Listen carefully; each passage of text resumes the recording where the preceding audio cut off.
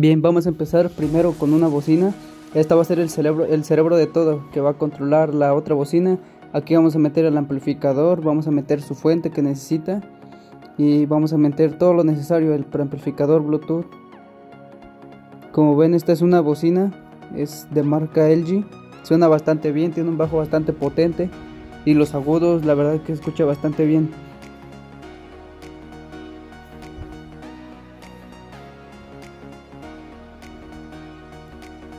Ustedes pueden agarrar cualquier bocina que sea más o menos de la potencia del amplificador que ustedes le van a meter. Es decir, este es de 120 watts y el amplificador de 120 watts por en ambos canales, es decir, somos, son 60 por canal y esta igual bocina soporta 60 watts.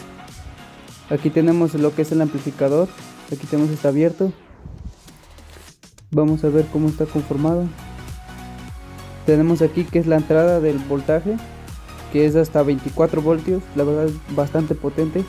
El canal derecho y el canal izquierdo. Tiene un disipador de calor para que sea mejor refrigeración.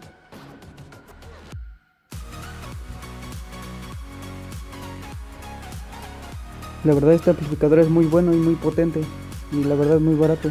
Aquí es donde se conectará las entradas de audio para lo que es el, amplificador de Bluetooth y USB. Vamos a mostrarles cuál, cuáles amplificadores Bluetooth podemos ponerle. Yo tengo este que he comprado por Mercado Libre. Me salió en 120 pesos que viene con su control. Ya está listo solamente para conectar.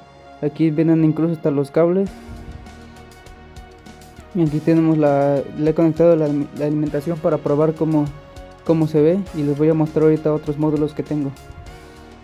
Es desde, hasta, desde 6 voltios hasta 12 voltios. Bueno, pueden meterlo un poquito más, pero ya no es recomendable. Aquí le cambiamos el modo, tiene radio, auxiliar, el Bluetooth y la verdad está bastante pequeñito y muy económico igual nos puede servir bastante bien.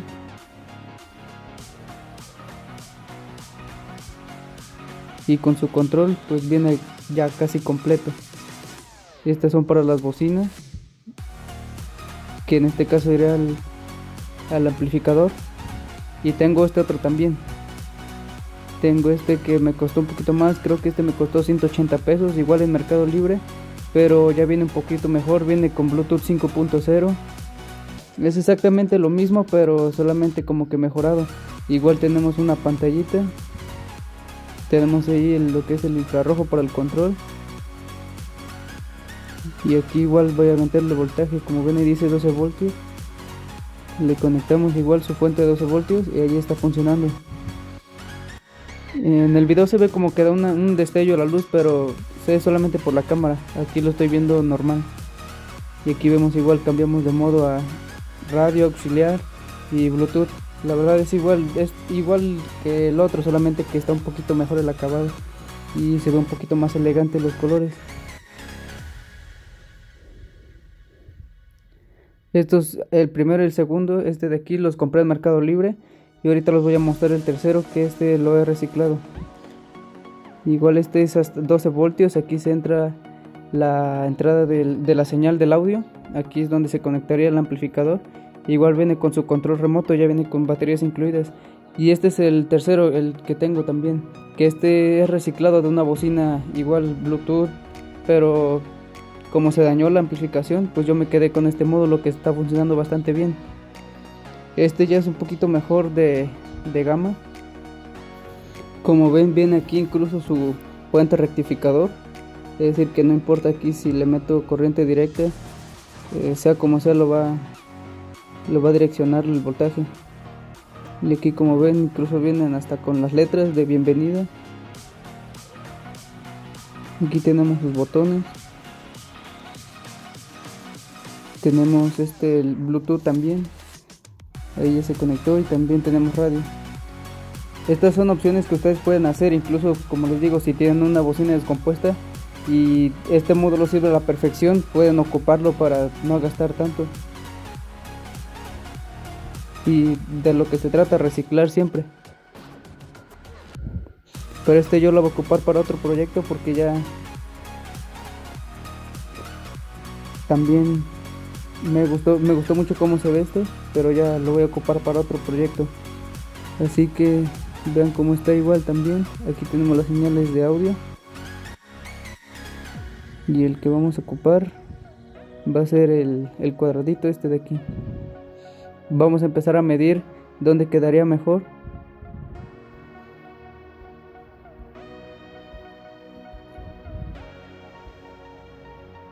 Y donde nos guste más vamos a marcar y vamos a cortar. Yo creo que es para mí la mejor idea sería aquí un poquito más abajo.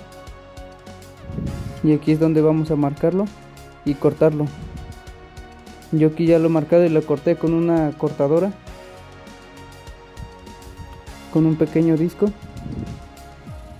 Y ahí es donde como se ve ya quedó bastante bien. Y hemos quitado los tornillos para que vean que tenemos espacio.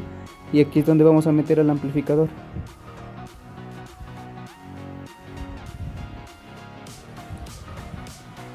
y como ven cierra bastante bien así que creo que va a quedar perfecto aquí el módulo de amplificación.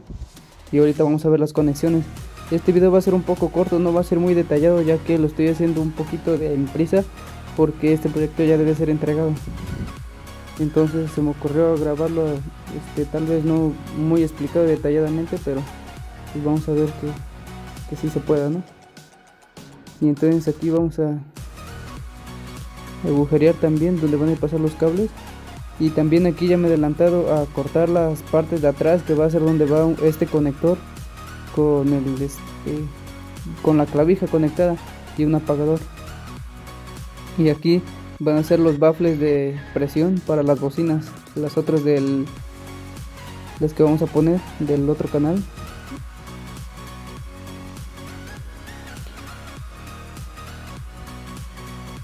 y le hemos rebajado para que quede bastante bien en la madera.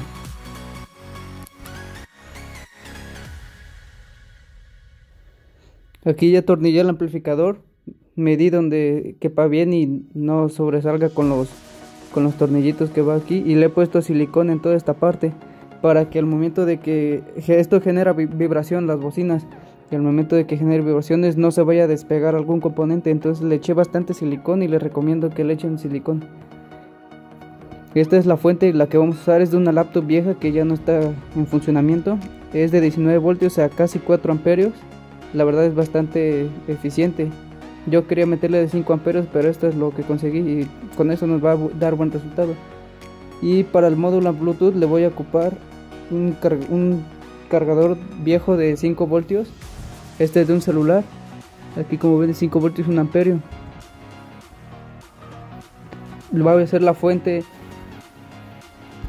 independiente. Una va a ser la fuente de la computadora, va a ser para el módulo de amplificación y este va a ser para el módulo Bluetooth para que no meta ruidos porque si lo metemos el mismo alimentación con el de la computadora hacia hacia este nos va a generar un, algún tipo de ruido. Entonces vamos a hacerlo independiente para que no haga ningún tipo de ruido. Aquí lo desarmado para que quede mejor el cargador y aquí es donde vamos a, así se va a conectar vamos a conectar estos terminales hacia la entrada de la fuente. Y de aquí lo vamos a puentear igual en paralelo hacia la otra fuentecita de 5 voltios para que ambos enciendan al mismo tiempo con este mismo apagador. Aquí ya lo he colocado y aquí es como se ve. Estos cables vienen a lo que es la entrada de la fuente de 19 voltios y de aquí se puentean a la de 5 y con el cable este esta es la salida de los 19 voltios. Aquí le puse un filtro todavía más de 4700 miliamperios para que aguante todavía más los bajos. Y listo, se conecta al amplificador. Aquí es donde marqué voltaje positivo y negativo, así tal cual con su polaridad. Y estos son los 5 voltios de la fuentecita que vamos a conectar al módulo Bluetooth.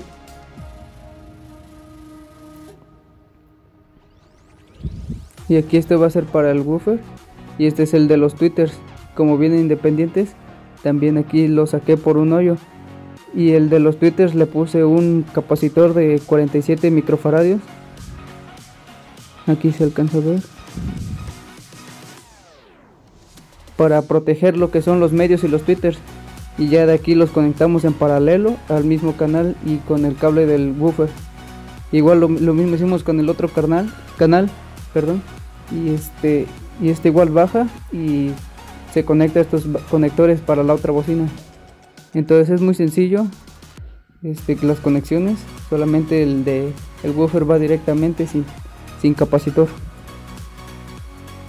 Así es como va quedando.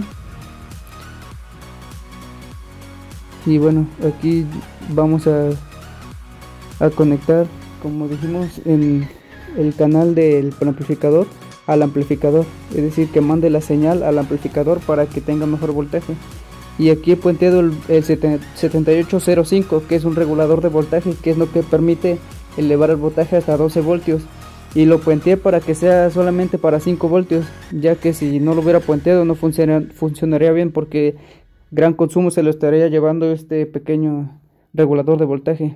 Entonces así puenteándolo pasa directamente pero no podemos subirlo a más de 5 voltios entonces aquí ya lo conectamos a lo que es el amplificador y lo cerramos. Así es como quedan las otras dos. Aquí tenemos la otra par. La otra par no le metimos nada porque no es necesario. Solamente vamos a tener que pelar los cables y meterlos en este conector de presión. Aquí ya marcado cuáles van, cómo van a ir conectados. Negro y negro y el amarillo que es el de medios al otro lado y el rojo va a ser el de woofer que lo conectamos directamente al amplificador y el de medios lleva el, Twitter que les mostré hace rato. Entonces así es como se ve y vamos a ver la prueba de sonido.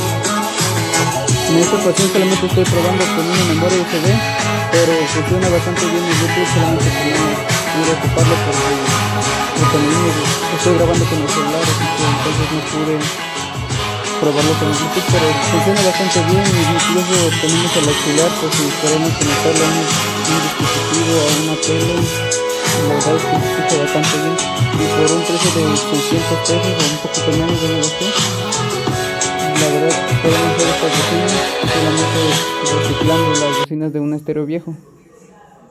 Aquí tenemos el control para que vean que también funciona con el control. Y bueno esto ha sido todo.